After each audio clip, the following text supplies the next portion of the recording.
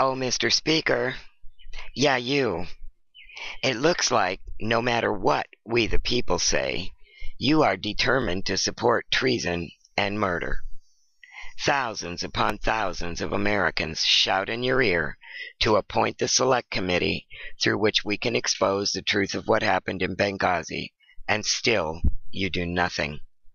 You are despicable, but not nearly as despicable, disgusting, and outright morally bankrupt as the 15 Democrats who walked out on the testimony of the family members of the fallen at Benghazi during the latest House hearing.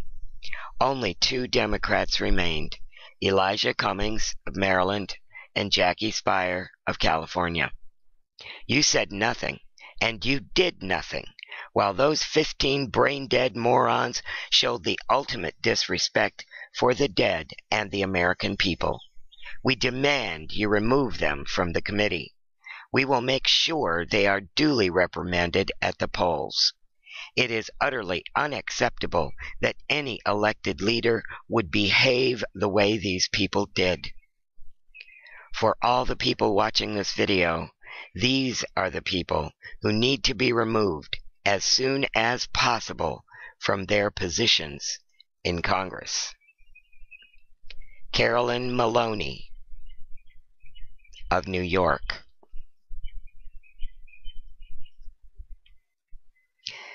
Danny Davis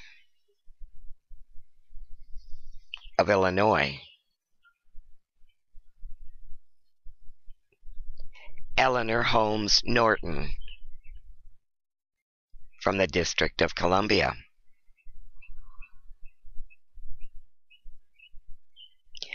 Gerald E. Connolly of Virginia.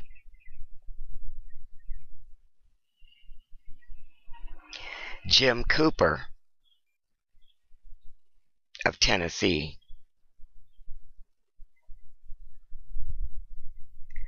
John Tierney, Massachusetts. Mark Pocan, also from Massachusetts.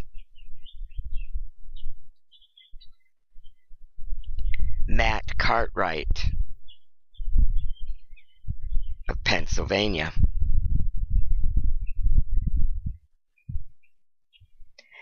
Michelle Lujan Grisham of New Mexico. Peter Welch of Vermont. Stephen Lynch, another from Massachusetts. Steven Horsford, Nevada. Tammy Duckworth of Illinois. This woman is a dismembered war vet, and of all the rest of them, her behavior toward the families of those SEAL team members should go down in history right beside Hanoi Jane and John Sing Like a Bird McCain. Shame!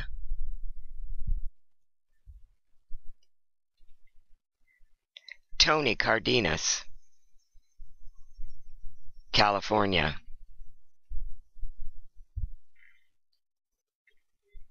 William Lacey Clay of Missouri.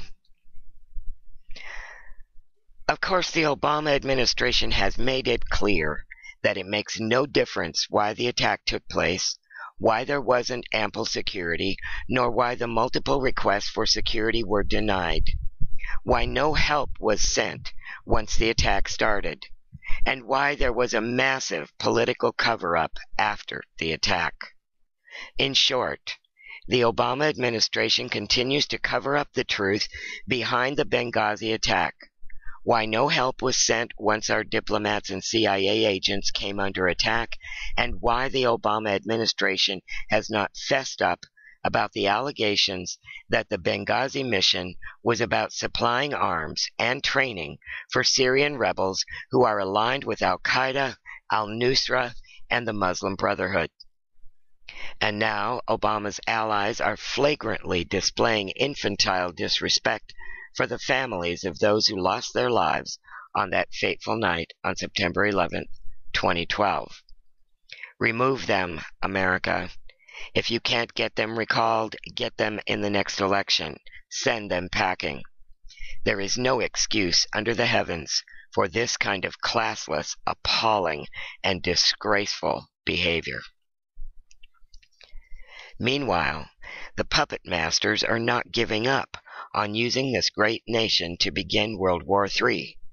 Naturally, select puppets are being used willingly to set up and promote a completely false narrative to convince the American people that somehow Russia is now a threat to our national security.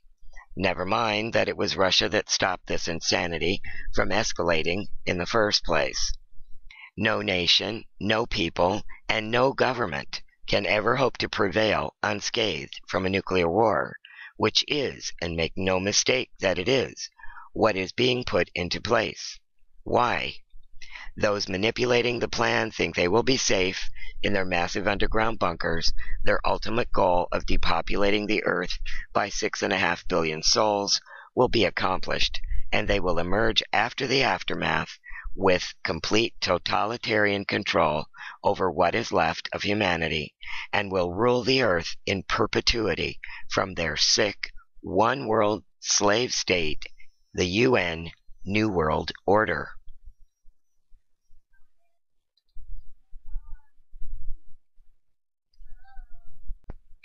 So, what exactly are they up to? Well, that has come out in an article written by Viktor Titov with New Eastern Outlook, Moscow. USA starts blackmailing Russia over Syria. Our shadow government exposes itself with Syrian flank moves on Russia. Editor's note. We have long editorialized here that it is not just the Obama administration pushing for chaos in the East. Those who have always profited from regional chaos have a dog in this fight, and they are not about to give up.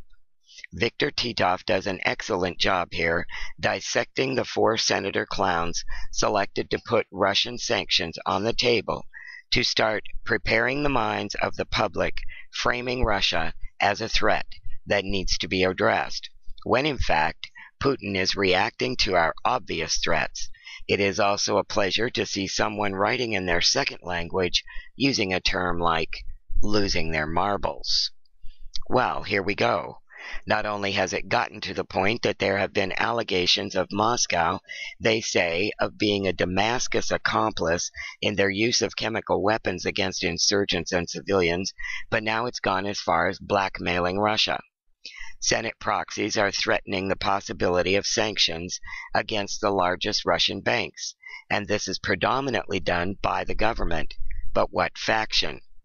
Consequently, four American senators, two Democrats, and two Republicans appealed to the American government to impose sanctions against a few large Russian banks such as Gazprom Bank, VTB, and VEB. The reason for this, in the senators' opinion, is that the banks, they say, finance the activities of the Syrian government. The Russian bankers have stated clearly what the truth is. Quote, the senators are misleading the American public. Our bank does not hold any assets for the Syrian government. Unquote. VTB commented to the press, quote, No one from the states came to us for information, so we believe that this initiative is simply an attempt to further dramatize the situation and to disrupt the upcoming Syrian peace process. Unquote. So, who are the Senate puppets with skin in the game for financial gain? Jeanne, deep in the pockets of the bankers, Shaheen, Democrat, New Hampshire.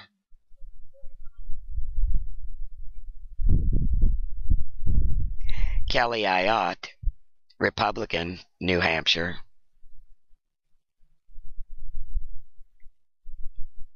Richard Gungrab Blumenthal, Democrat, Connecticut, and John Cornyn, Republican, Texas. That brings us to another article, which surfaced yesterday, from a Canadian publication. Keeping in mind the events of the past few weeks, such as the FEMA Region 3 alert, the exposed movement of nuclear warheads from Dyess Air Force Base to the East Coast, Lindsey Graham's outlandish statement about a nuclear terrorist attack on Charleston Harbor, Janet Napolitano's hasty and flimsily explained exit from the DHS, and the massive stockpiling of weapons, ammunition, food, pharmaceuticals, and the latest mass order by DHS for medical scrubs, portable medical personnel shelters, and the hurried recruitment and training of internment camp personnel over the past year alone. Let those things occupy the forefront of your minds, America, while we read the article. Washington, D.C. Navy Yard shooting linked to attempted arrest of Obama for treason. Posted by PressCore World News Thursday, September 19, 2013. In politics, nothing happens by accident. If it happens, you can bet it was planned that way. Franklin Delano Roosevelt. U.S. military police were targeted and killed by Obama in the Washington, D.C. Navy Yard shooting. Why? Agents from the U.S. military's criminal investigation units had uncovered a plot to detonate a nuclear device in the heart of the nation's capital as part of an Obama government false flag. Officials from NCIS, United States Naval Criminal Investigative Service, and the U.S. Office of the Provost, both with field offices inside the Washington, D.C. Navy Yard, had threatened to arrest Obama for planning to attack Syria without congressional approval following a planned nuclear detonation false flag in Washington, D.C. The office of the Provost is on the second floor of Building 34 1 First Avenue, Charlestown Navy Yard, and NCIS is located at 716 Sicard Street, Southeast, Suite 2000, Washington Navy Yard, D.C. The United States Naval Criminal Investigation Service, NCIS, is the primary law enforcement agency of the United States Department of the Navy. It investigates activities concerning crimes against or by United States Navy and United States Marine Corps personnel, along with national security, counterintelligence, and counterterrorism cases. The false flag is the crime of treason, levying war against the United States. If United States Navy or United States Marine Corps personnel are involved in planning for and preparing a false flag event in Washington, D.C., or anywhere else in the United States, NCIS and its agents are duty bound to investigate and take action to counter those terrorist acts against the United States. Prior to the Washington, D.C. Navy Yard shooting, the Joint Chief of Staff and Provost Marshals were planning and preparing to arrest Obama for treason, for levying war against the United States with a planned false flag in Washington, D.C. on the anniversary of 9 11, a nuclear detonation. In the United States, the Office of the Provost has the authority to arrest the President if he or she violates the terms of his or her employment or commits an act that is detrimental to the United States. He or she can be held liable, arrested, imprisoned, etc., depending on the depth of the violation, by the Provost Marshal of the United States. If it has been determined that the President of the United States has committed treason in a manner unmistakable to all, the Chairman of the Joint Chiefs of Staff convenes a covert meeting, in this case at the Washington, D.C. Navy Yard, to get a vote of the Joint Chiefs of Staff. The Provost Marshal General of the Army and or Marines will usually be in attendance.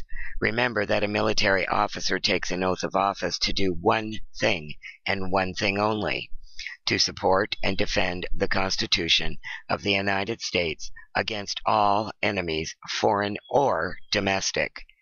They must determine above a reasonable doubt that the domestic enemy is the treasonous president before they can attempt to arrest him or her.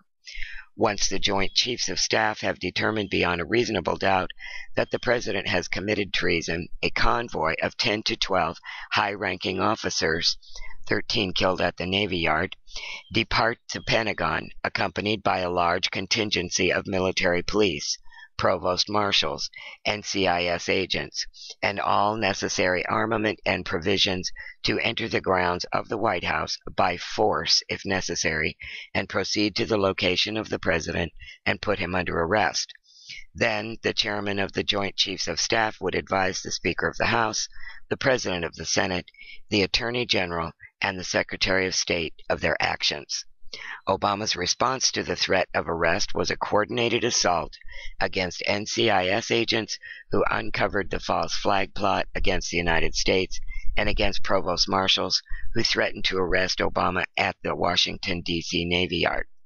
Have you not wondered why all of the names and rank of those who were killed in the assault have not been released? The White House ordered their names and rank classified as it would raise alarm bells in Washington, D.C. should the public know Joint Chiefs of Staff members, provost marshals, and NCIS agents were targeted and killed for threatening to arrest Obama for treason. The White House is claiming that the names of those killed are being withheld pending next of kin notification. On September 28, 2009, the History Channel released a movie titled Day After Disaster. The entire movie is about Washington, D.C. being the target and victim of a nuclear detonation. The movie also features Obama talking about nuclear detonations in the U.S. In the movie, it's at 0.50 timestamp. Quote, one terrorist, one nuclear weapon could unleash massive destruction Obama says. Unquote. Last year, PressCore wrote an article titled COG Planning for and Preparing Washington, D.C. Nuclear Detonation False Flag Event, after receiving information that September 30th, 2012 was the day day after disaster was to be executed in real time. Obama's planned false flag attack for September 30, 2012 was averted after the public was made aware of the false flag beginning August 18, 2012. Obama's 9 11 anniversary false flag was thwarted when the Joint Chief of Staff and the Provost Marshals from the Washington, D.C. Navy Yard confronted Obama and threatened to arrest him for treason for planning to detonate one or more nukes in the nation's capital, Washington, D.C. The EU Times reported June 27, 2013, Obama requests 15,000 Russian troops for upcoming disaster. In that story, it claims Obama has requested at least 15,000 Russian troops trained in disaster relief and crowd functions, i.e., riot control, be prepositioned to respond to FEMA Region 3 during an unspecified upcoming disaster. The Federal Emergency Management Agency, FEMA Region 3, includes Delaware, Washington, D.C., formerly the District of Columbia, Maryland, Pennsylvania, Virginia, and West Virginia areas. According to this report, this unprecedented request was made directly to Minister Vladimir Puchkov by U.S. Department of Homeland Security Director Janet Napolitano, now retired, who said these Russian troops would work directly and jointly with her Federal Emergency Management Agency, FEMA, part of whose mission is to secure the continuity of the U.S. government in the event of natural disasters or war. This report has been verified. The origins of this report can be read on the website of Ministry of the Russian Federation for Affairs of Civil Defense Emergencies and Elimination of Consequences of Natural Disasters, or internationally as EMERCOM of Russia. The Russian Emergency Situations Ministry and the USA Federal Emergency Management Agency, FEMA, are going to exchange experts during joint rescue operations in major disasters. This is provided by a protocol of the fourth meeting of the U.S.-Russia Bilateral Presidential Commission Working Group on Emergency Situations and 17th meeting of Joint U.S.-Russia Cooperation Committee on Emergency Situations, which took place in Washington on June 25th. In addition, the parties approved the U.S. Russian cooperation in this field in 2013 to 2014, which envisages exchange of experience, including in monitoring and forecasting emergency situations, training of rescuers, development of mine rescuing, and provision of security at mass events. Former Department of Homeland Security Secretary Janet Napolitano, ABC News, August 27, 2013, quote, a massive and serious cyber attack on the U.S. homeland is coming, and a natural disaster the likes of which the nation has never seen is also likely on its way. Unquote. The only way anyone could know that there is a natural disaster the likes of which the nation has never seen is also likely on its way is if you are the one planning and preparing it.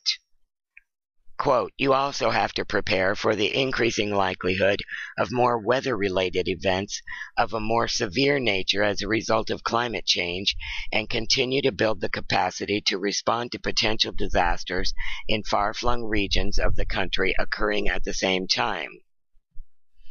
You will need a large bottle of Advil, unquote, Napolitano joked. Napolitano is hinting at what the United States government, Obama, is planning and preparing for using its weather, weather modifying weapon of mass destruction called HAARP. Don't think the U.S. government is planning to detonate a nuke in Washington, D.C. They've already planned for it. DHS, Illegal Posse Comitatus Force, FEMA, Washington, D.C., Nuclear Detonation Scenario Report complete with nuclear detonation maps, charts, and fatality estimates. NCR stands for National Capital Region.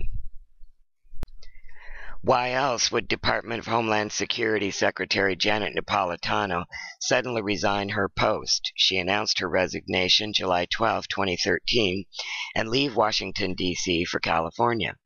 Because while she was DHS Secretary Janet Napolitano planned for and prepared for a major Washington, D.C. event. She got out of Dodge before the attack on the U.S. homeland is coming. Janet Napolitano's resignation as Department of Homeland Security Secretary was effective September 7, 2013, just four days before the planned 9 11 anniversary nuclear device detonation false flag just before leaving her post, Dyess Air Force Base reportedly moved nuclear warheads to the east coast of the United States in a secret transfer that had no paper trail. The Dyess Air Force commander allegedly authorized unknown parties to transfer nuclear warheads to an unknown location on the U.S. East Coast, where the warheads would then be picked up and potentially utilized. Conspiracy? Legal definition for conspiracy, an agreement between two or more persons to engage jointly in an unlawful or criminal act, or an act that is innocent in itself but becomes unlawful when done by the combination of actors. A conspiracy is codified as a criminal offense. A conspiracy is not fiction, make believe, or theory. A conspiracy is an indictable offense wherein two or more persons engage jointly in an unlawful or criminal act. The evidence reveals that Obama, the DHS, FEMA, and other agencies of the United States are actively conspiring to lever, levy war against the United States through a false flag, an unlawful or criminal act. Did our military inform Obama of his imminent arrest? That is not in our ability to confirm or deny. However, if they didn't, we damn well want to know why not. The number of treasonous actions by this president and his administration are now too numerous to cover in a single video, article, or even within the span of a three hour radio show. From an unauthorized attack on Libya to the fact that without congressional approval and behind the people's backs, he has already deployed our sons and daughters to Syria. Boots on the ground in another blatant abuse of power with no lawful authority whatsoever. What are the chances that the planned nuclear strike on DC was to be comprised of those elusive nuclear warheads salvaged by the Navy and CIA in 1968, which they lied about, have kept secret and hidden all these years, and could well explain just exactly how Dyess Air Force Base even had any to be shipping to the East Coast to start with. How very convenient for Obama if a nuclear strike on DC had Russia's stamp on the weapon. Apparently, the government not only thinks we are stupid, but blind and deaf as well. We have known about the Russian troops training on our soil for a very long time. But now we're expected to believe that on one hand, Russia trains with the U.S. to supply protection for the criminals in the halls of governance when the people finally go after them, and vice versa, it's assumed. But at the same time, they are our enemy planning and plotting with Syria. Even as our impostor president defies the law of the land and sends massive amounts of weaponry and ammunition to the known and declared enemies of the United States in Syria, his administration and its mouthpiece Senate attempt to claim that Russia, the only country, by the way, to step up and use good old common sense in this crisis, is the one stirring up the trouble. So, with four totally clueless and mentally defective senators to 15 morally bankrupt Democrats in Congress, we the people have a damn good place to start with removal efforts. For that, we thank you, Mr. Speaker. Just keep providing us with reasons and identities. We're happy to comply. As for Commandant Napolitano's statement about more weather related disasters surely on the way, there is no surprise there either. The falsely labeled hurricane, which was actually an accidental supercell created by HAARP, Hurricane Sandy, and planned several years before in her FEMA drill in Florida, the dipsticks even used the name Operation Hurricane Sandy, only served to prove those of us sounding the alarm for years to be right. There is an excellent video interview with Dr. Barrie Trower, a retired deep cover agent from the early 60s, in which he gives detailed information on how MK Ultra came to be and is still in use to kill massive numbers of unsuspecting citizens around the world. From microwave frequencies now being implemented through smart meters and satellites to control the mind of otherwise normal, decent human beings, to create violent behavior, mental illness, and aggression, to the deliberate activation of deadly viruses and using entire populations without their consent as test subjects. This has been going on in direct opposition and violation of the Nuremberg Treaty since its creation. Every American must see this interview to understand what every member of the CFR, which includes most of Congress, except maybe the freshmen, have known is going on and are frantically hoping we don't find out until they can all get the hell out of Dodge. Well, Mr. Speaker, there's no amount of bullshit which can put the genie back in the bottle. There's no way we'll be chipped, and there's no amount of money we can be bribed with to induce us to look the other way. We are fully able to block the microwave frequencies, grow nutritional food, turn ordinary household items into self defense weapons, communicate without your power grid, and defeat you by sheer numbers we the people are still in possession of our souls and will act in the best interest of humanity because nobody owns us, even though they may think they do. Today, we the people are presenting you in Congress with two demands. First, not only do we demand that you release the list of victims at the Navy Yard, but just in case you're even tempted to come up with some false ones, we demand to hear by live, real time interview from each and every one of the NCIS and Joint Chiefs who were indeed there.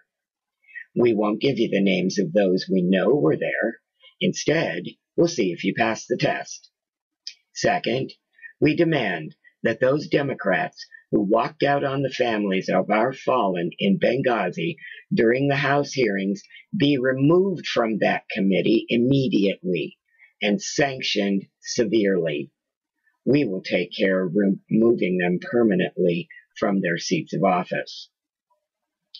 We, the people, are putting all of you on notice once again. We didn't buy the Navy Yard fiasco even as it was taking place. And if anything, and we mean anything else, happens for the purpose of advancing disarmament of America, any type of so called terrorist attack or another drugged out shooter should pop up, we are coming after the real culprits, and you all know who you are. The bankers own you, but contrary to what they think, they do not own us. We are the answer.